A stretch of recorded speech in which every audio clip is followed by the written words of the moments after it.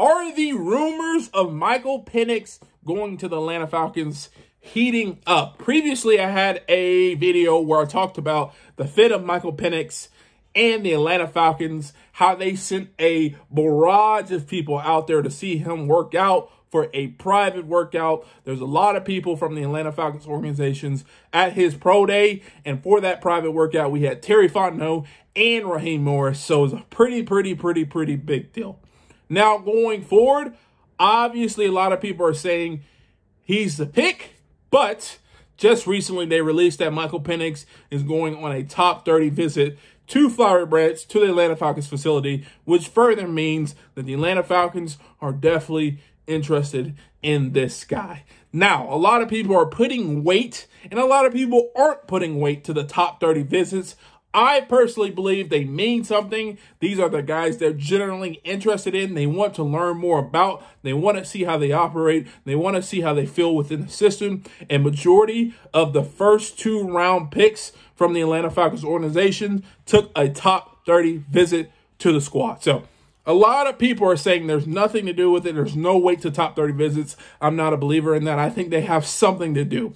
Now, in regards to Michael Penix, this is the third kind of interaction that he's had with the Atlanta Falcons organization. I think I'm a big believer. Terry Fontenot is probably going to go with the best option on the board. Now, I personally made a video earlier saying, hey, it may not be the year to go with that route. It might be the year to go with need. But if we know one thing about Terry Fontenot, he will go outside the status quo and he will draft players who he thinks is the best position for that pick. Now, do I think the Atlanta Falcons need to trade back from the eighth pick and get some overall depth overall with the organization? Yes. Do I think they need to get an additional pick for that first round pick? Move back? Yes. Will that happen? Who knows? But there is one thing that keeps popping up, and that's Michael Penix, and that's the eighth round pick. Eighth pick, first round pick. Now, will I say it's a bad option? No. I'm a big believer in Michael Penix, and I think he could be the future of the Atlanta Falcons if they pick him up.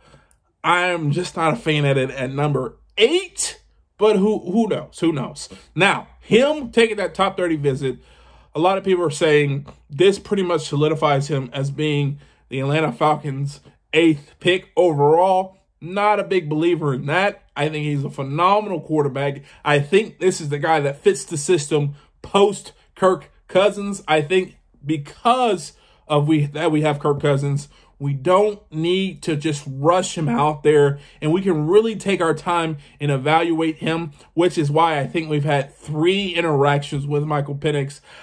I think he's the solution going forward, but it just depends on the price for him and how early we would have to pick him. And people are saying it has to be in the top 13, which I think is crazy. But who knows. Now, if you want to see more videos like this, first, do me a favor, hit the thumbs up, subscribe, and turn on post notifications. And if you want to see more content, check this video out right here. And like always, peace.